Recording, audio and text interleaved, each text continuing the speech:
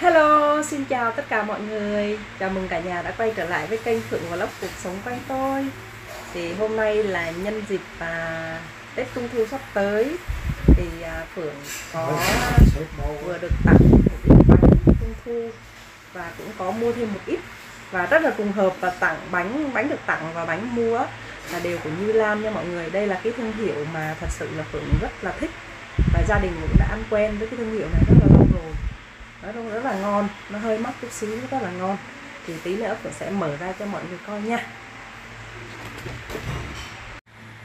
Mọi người ơi trung thu đến rồi.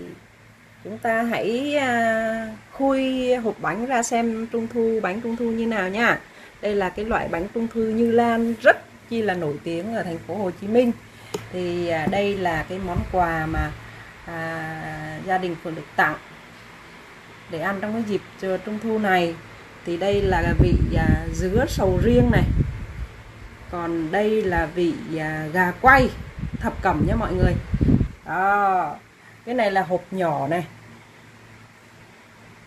Đây hộp nhỏ đây. Đúng rồi.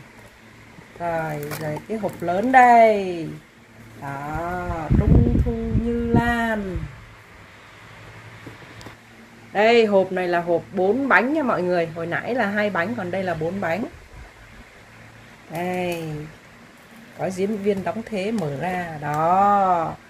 Cái này á, là dứa sầu riêng hai trứng. Đây cũng là thập cẩm gà quay hai trứng. Và đây là gì đây? Ô cũng thập cẩm gà quay hai trứng luôn. Còn cái này là gì đây à cái này là gì ta? À cái này là bánh đậu xanh và hạt sen hai trứng. Đó bánh trung thu nha mọi người.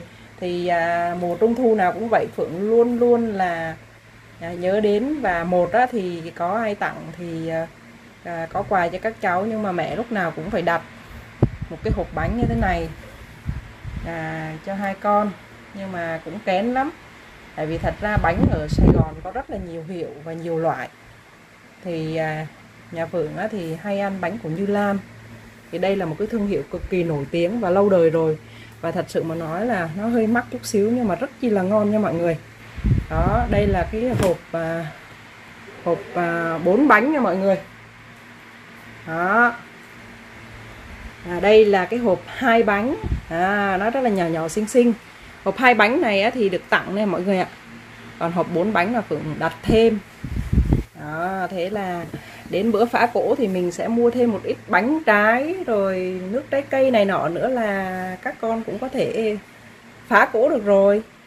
Năm nay á, thì à, con Phượng là một đứa đại học năm thứ hai và một đứa thì lên lớp 7 mà cái bé lên lớp 7 nói mẹ ơi năm nay con có được đón trung thu nữa không? Tại vì bạn ấy là 12 tuổi rồi á thì mẹ nói là vẫn được tại vì con à, vẫn được à, trong cái tuổi thiếu nhi cho nên vẫn được ăn bánh trung thu nha. À, à, phượng quay cận cảnh cho mọi người xem cái bánh cái luôn này. Đó. bánh này thì à, rất chi là ngon luôn.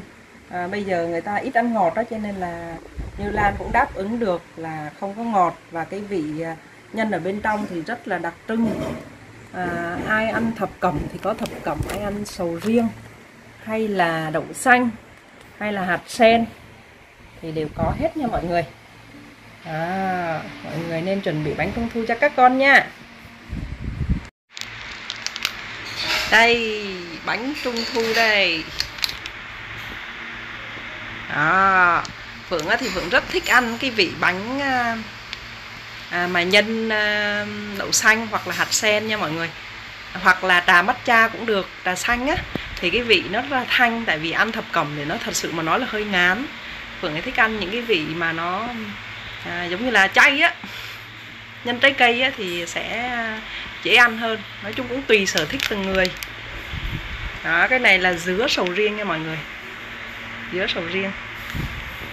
À thì à, nhân dịp trung thu sắp tới thì phượng cũng mến chúc cho tất cả mọi người mọi nhà có một mùa trung thu thật là vui vẻ ấm áp và bình yên bên gia đình.